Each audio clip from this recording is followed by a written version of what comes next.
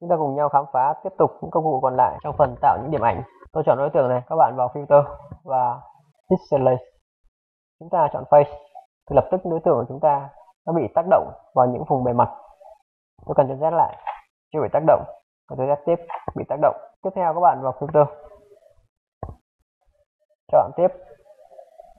Và chúng ta chọn Measure Thin. Thực ra đây là một cách chọn màu và tạo nhiều điểm. Tôi có thể chọn tùy chọn Dot, Measure Dot và tạo rất nhiều đối tượng này. Ở đây nó sẽ tạo các bạn mặc định, không cho các bạn tùy chỉnh kích cỡ. Đó, và hiệu ứng khá đặc biệt như fill. Tôi đồng ý, ok. Đối tượng này các bạn có thể kết hợp để giả lập những đối tượng vẽ tranh bằng tay.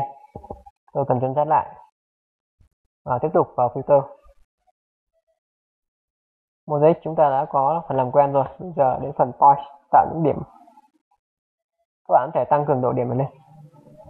Càng tăng lớn thì đối tượng chúng ta có những điểm chấm càng lớn. Tôi tăng vừa phải và nhỏ thôi. Có thể tôi chọn bằng 3 và ok đóng lại. Các bạn thấy rằng đối tượng chúng ta đã bị phủ một lớp nhiễu hạt rồi. Thì đây là vài hiệu ứng đặc biệt. Một vài thành phần chúng ta sẽ cần thiết dùng những hiệu ứng này.